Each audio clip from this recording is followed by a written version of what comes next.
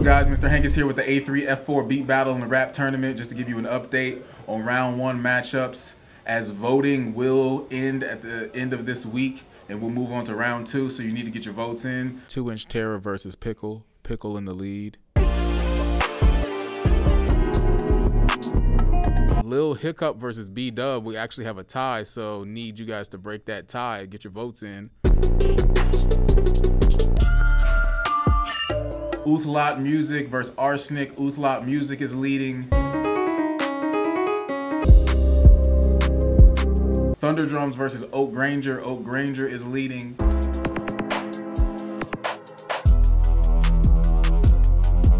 And with the rap category, we got first leading Adrian Park, next is Ed the Pizza King, and then finally with the Reaper. That's my wealth with a silver spoon, sipping so scared. I feel that Science Boys did really bad. And for the rappers, we will continue to keep the voting open until the entire beat battle and rap tournament is complete. So if you are in the contest, get your friends and family to vote worldwide. Anyone in the world can vote for you. And if you haven't voted for your friends, this is your chance to make sure they get pushed to the next round.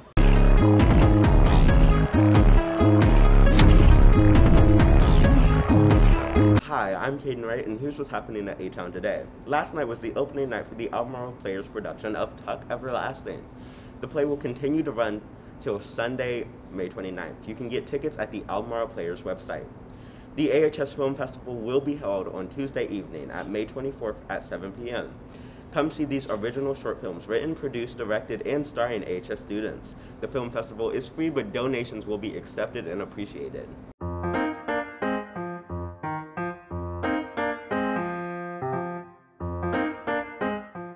Camera is rolling. Sound.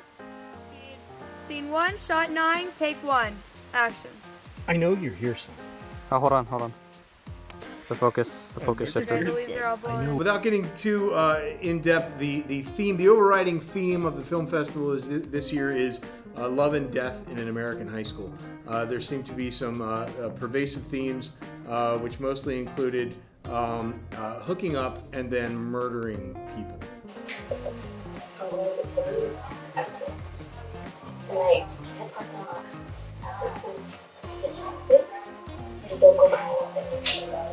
I was just wondering, are you okay? Like, is everything alright with the new guy? Jake, things are great. Why? I don't know. It's something about him. Uh, hooking up and then murdering people. So um, you know all the, the the most important elements of life in high school. Well, uh, I was director for a couple of films that we've produced, both through Film Team and through some student productions with the school. We did Camp Get Right in the fall, and I was primary director for that, and had a lot of my friends from film class be my cinematographers and ADs. I, being the main cinematographer, worked on most of the films in the advanced filmmaking class. So I'm really just excited to see how all these different projects with all these unique stories kind of came together. I was the editor for one movie only, and that was uh, Camp Get Right. Uh, it was basically mostly color corrected and audio mixed by me. I was, I did all of that, and I here I have pushed the the um, the boundaries of filmmaking quality. So I'm excited to have set the new bar, which will never be broken ever again. Yeah, this year's been pretty unique because I've gotten to kind of do every part of the process. I've written a script, I've also assisted directed on Camp Get Right, and I've directed and produced my own film for Weight of Water, which I'm also editing.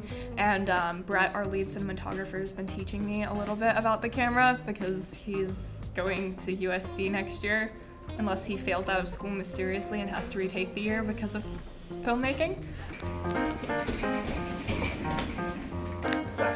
One, two, three, four, five, six, seven. Cut. That's good. The film festival is May 24th. That's a Tuesday. It is the day before the seniors check out of school. It's going to be in the auditorium at 7 o'clock. It is completely free, although donations uh, will be accepted and appreciated. Uh, there will be somewhere between four and six films, depending on uh, what we finish by that time, and uh, something for everyone. So come check it out.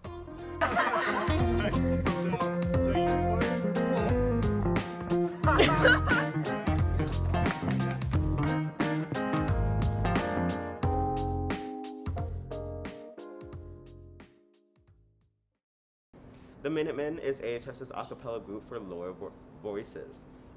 Auditions for next year's group will be during Patriot Period in the choir room on May 26th and May 27th. Prepare a chorus and verse from your favorite song that showcases your vocal range. Recordings can also be sent to minutemen at ahs at gmail.com, asking any questions.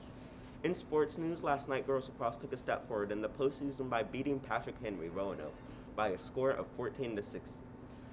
Boys lacrosse will start their postseason run tonight when they travel to Roanoke oh to play Patrick Henry. Soccer playoffs will also get started tonight. The undefeated Patriot girls squad will host William Fleming while the boys take on Harrisonburg. The girls play it first at 5:30, followed by the boys game at 7:15. Let's come out and support our Patriot athletes. That's all for now. Have a great day.